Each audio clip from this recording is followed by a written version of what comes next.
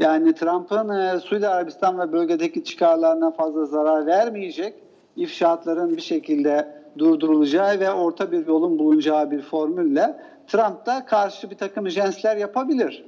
Ama bu jestler e, e, doğrudan mesela İran'la ilgili tamamen e, Türkiye'nin istediği şekilde her şeyin değişeceği bir tavizin e, ya da Fırat'ın doğusundaki planların tamamen çöpe atılması gibi bir tavizin olacağını zannetmiyorum. Yani bunlar e, çünkü Amerikan yönetiminin şu anda e, dış politikasındaki ana unsurlar.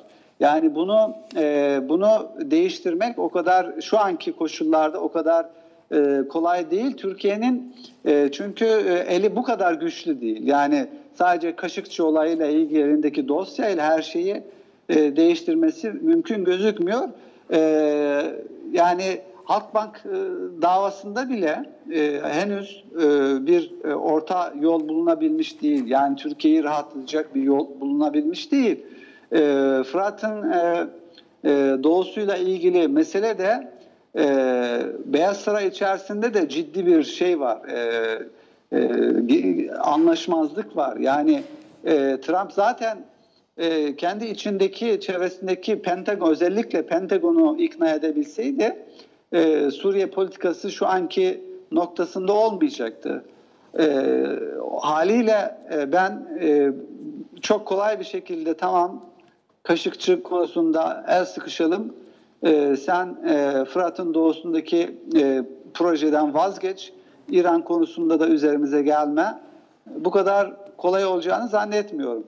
Ben birazcık daha Kasım'a doğru e, farklı bir gerilimin de e, yaşanma ihtimaline e, bakıyorum. Yani e, sonuçta eğer İran İran'ı bloke etme projesi başarısız olursa bundan e, Türkiye'yi de sorumlu tutacaklar e, bir şekilde. Çünkü Türkiye e, bugün Halkbank e, davası varsa bunun nedeni Türkiye'nin e, İran'ın e, para transferlerinde e, Türkiye'de bir mekanizma e, şansına sahip olması AK Parti yönetimi iktidarı sayesinde.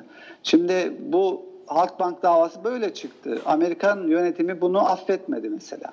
Şimdi İran meselesine Trump e, çok fazlasıyla e, e, her şeyin merkezine oturtmuş durumda. E, o yüzden bu konuda başarmak istiyor. Bu konuda çok şey göze almak istiyor. E, Kasım'da ne olacağını e, biraz görmemiz gerekiyor bu açıdan.